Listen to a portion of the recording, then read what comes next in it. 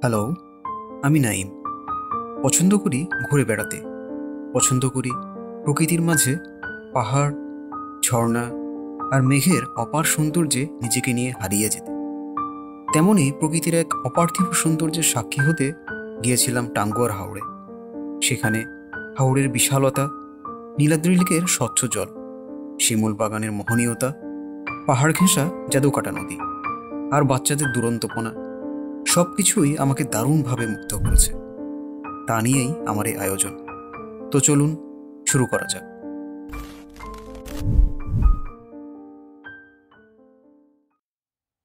টেকের ঘাট থেকে শুভ সকাল।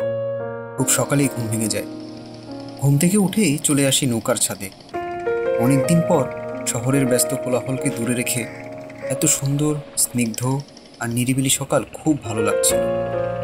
গ্রামীণ মেঠো পথ জনজীবন, বৃষ্টি ভেজা সকাল আর হাওড়ে হাউসবোটের চলাচল। সব মিলিয়ে দারুণ ছিল সময়টা।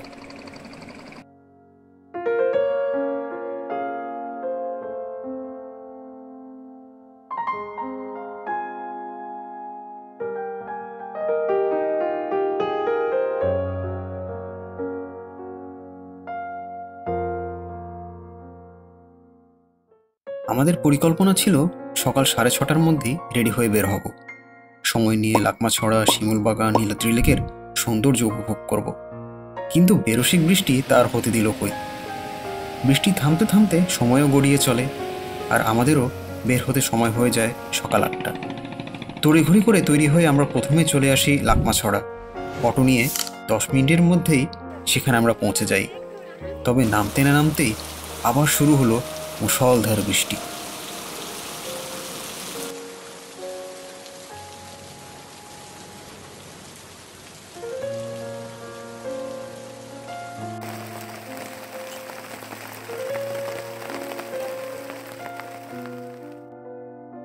অবশেষে কিছুক্ষণ পর বৃষ্টির তেজ কমে আসে, কিন্তু পুরোপুরি থামে না। কী আর করা? এরই মাঝে আমরা বের হই। এভাবে আস্তে আস্তে বৃষ্টি মাথায় নিয়েই আমাদের অগ্রযাত্রা চলতে থাকে। মূলত এটা কোনো ঝর্ণা না। ভারত থেকে কোনো এক ঝর্ণার বয়ে আসা পানির এক স্রোতধারা, যা এখান দিয়ে বয়ে গেছে। তবে নাম যাই হোক না কেন, জায়গাটা যে অসম্ভব সুন্দর, তা কিন্তু বলার অপেক্ষা রাখে না।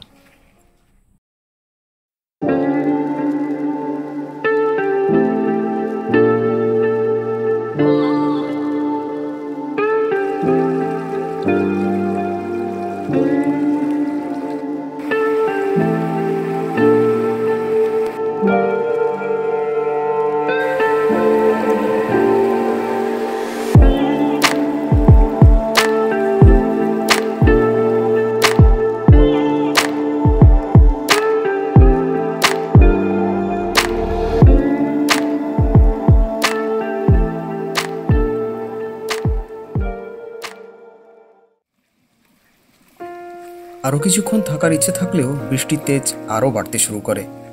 আর হাতে সময় খুব কম।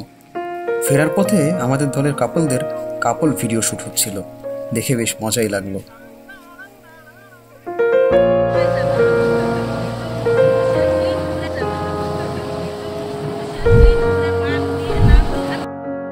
লাকমাছড়া থেকে অটোতে করে দশ মিনিটেরও কম সময়ে আমরা পৌঁছাই নীলাদ্রি লেকে। অসম্ভব সুন্দর জায়গাটা। আকাশ পরিষ্কার থাকলে হয়তো লেকের স্বচ্ছ নীল জলরাশিই দেখতে পেতাম। কিন্তু এই মেঘলা দিনেও চারপাশে যে সৌন্দর্য দেখতে পেয়েছি, তা ছিল মন ভোলানো। বিশেষ করে সবুজ ঘাসের গালিচায় মোড়া এই ছোট্ট টিলাগুলো নীলাদ্রির সৌন্দর্য হাজার গুণে বৃদ্ধি করে দিয়েছে। আর সাথে মেঘালয় পাহাড়ে মেঘের হাতছানি তো আছেই।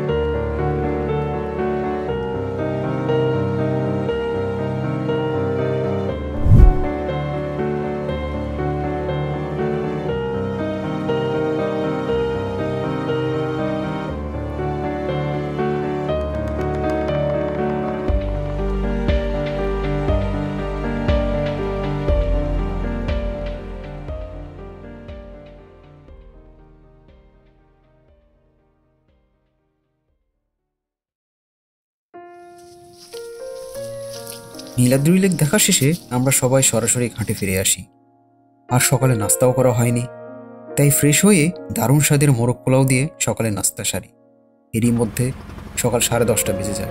আমাদের হাউস বোট আমাদেরকে নিয়ে শিমুল বাগানের উদ্দেশ্যে যাত্রা শুরু করে। নাস্তা শেষ করে কিছুক্ষণ বিশ্রাম নিয়ে নৌকার ভিতর থেকেই হাওড়ের সৌন্দর্য, সেখানকার মানুষের কর্মব্যস্ত জীবন উপলব্ধি করতে থাকি। আমাদের হাউস বোটও হাওড়ের বুক চিরে ধীরে ধীরে আগাতে থাকে। চলতে চলতে একসময় আমাদের হাউস বোট নাম না জানায় কোনো এক নদীতে প্রবেশ করে। এরই মধ্যে আমি আবার চলে আসি হাউস বোটের ছাদে। সেখান থেকে প্রকৃতির এই অপার সৌন্দর্য দুচোখ ভোরে উপভোগ করতে থাকি।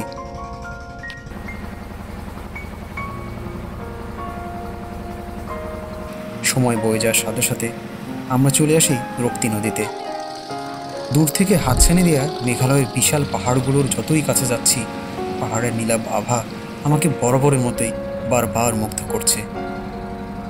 রক্তি নদী পেরিয়ে একটু বাদেই আমরা চলে আসি জাদুকাটা নদীতে। তার পাশেই শিমুল বাগান। নদীর অপর পাশে বিশাল পাহাড়ের মাঝে এই ছোট্ট ঝর্ণা আমার দৃষ্টি বারংবার কেড়ে নিয়েছে। শিমুল বাগানে একটু আগেই আমাদের হাউস বোট নোঙর করে। হাউস বোট থেকে নেমেই মিনিট পাঁচেকের হাঁটা পথ প্রবেশ মূল্য তিরিশ টাকা দিয়ে আমরা সবাই বাগানে প্রবেশ করি। এ যেন কোনো এক সবুজের রাজ্যে চলে এসেছিলাম। তবে শিমুল বাগানের আসল রক্তিম সৌন্দর্য ফুটে ওঠে কিন্তু ফেব্রুয়ারি বা মার্চ মাসেই। কিন্তু আমি এখন যা দেখতে পাচ্ছি, তাই বা কম কিসে?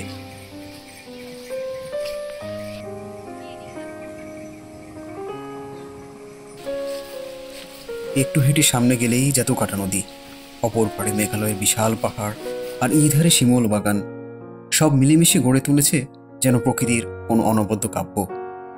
একটু আগেই যেখানে আকাশ পরিষ্কার ছিল, এখন দূর থেকে দেখতে পাচ্ছিলাম নদীর অপর পাড়ে মেঘালয়ে বৃষ্টি হচ্ছে। বাতাসের সাথে সেই বৃষ্টির হালকা ছাপটা আমার গায়েও এসে লাগে। সেই অনুভূতিটা আসলে ভাষায় প্রকাশের নয়।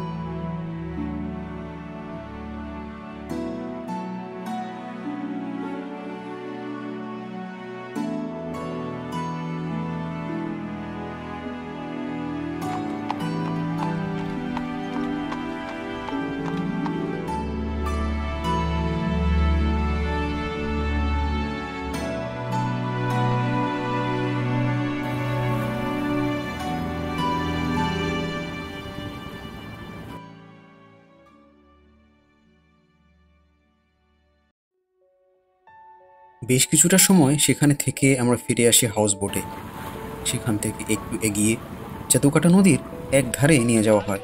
নদীর ঠান্ডা পানিতে ঝাপাঝাপি দাপাদাপি করার জন্যে। আমি পানিতে না নামলেও অনেকেই কিন্তু সেই আনন্দ থেকে নিজেদের বঞ্চিত করেনি।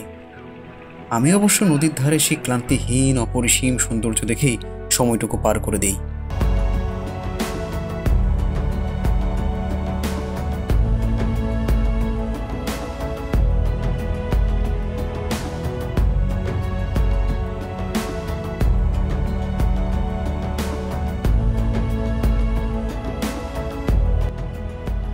এবার ফিরে আসার পালা। বর্ষায় দুই দিনের এই বৃষ্টি ভেজা টাঙ্গুয়ার হাওড় ভ্রমণের অভিজ্ঞতা ছিল এক কথায় দারুণ। প্রথমবারের মতো হাওড়ে আসার এই স্মৃতি বহুদিন ধরে মনে থাকবে মনের গহীনে।